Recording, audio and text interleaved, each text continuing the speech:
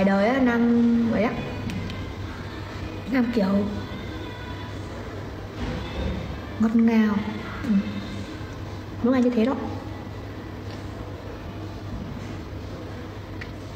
Mọi người ơi, mọi người nhớ qua bên itb uh, ờ, uh, ờ, của nam để xem mấy nha xem clip mới nha rồi ờ, mọi người xem mọi người dành mấy giây ra để xem nốt quảng cáo nhé mọi người đừng đừng bỏ qua quảng cáo nhé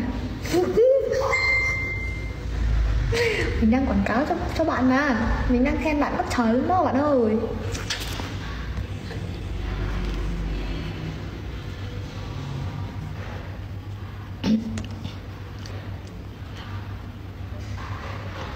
Nhà người hứa với tôi câu thủy chung.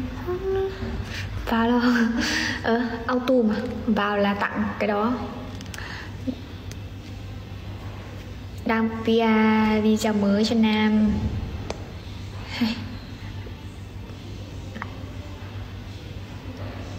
Anh này nào cũng xem ạ. Em về, chắc là em phải vừa bật máy tính không vừa bật tivi không vừa bật điện thoại không rồi cả ngày em cứ để ờ, cho nó chạy cả ngày ở nhà mất thôi. Về mình sẽ dặn bố mình là, bố ơi đánh nốt son đã, cho xinh xinh tí đã. Nói xấu gì đâu, nãy giờ mình khen cậu quá trời luôn á, cậu ơi. Tí cậu xem lại cắt cắt mà xem. Mình khen lắm đó. Đây, mình mình kể mọi người nghe, mình về mình sẽ bảo bố mình là bố ở nhà thỉnh thoảng đang làm ở ngoài xưởng đi chạy vào bật. Ví dụ nó chạy hết rồi thì bố bật quay lại hộ con. Một ngày mình cứ cho nó phát như thế cả ngày luôn. Thế một ngày như thế chạy được tầm bao nhiêu lần xe nhỏ người nhỉ chết nó ăn dở mình đâu có trên nó ăn dở đâu. Gì cơ? Em biết cô bé đức anh xem chị ơi. Thế à? Em biết à? Em comment ai trả tiền điện à? Bố mình trả, mọi người.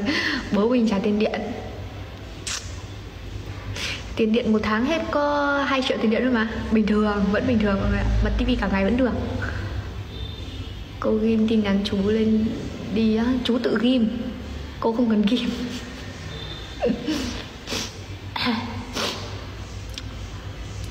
khi nào gặp lại nhau á thì thì ấy đây thì bảo là chị ơi ta đây bảo là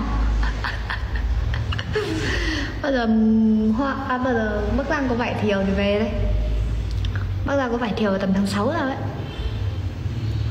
Gặp lại nhau khi mùa hoa nở nhé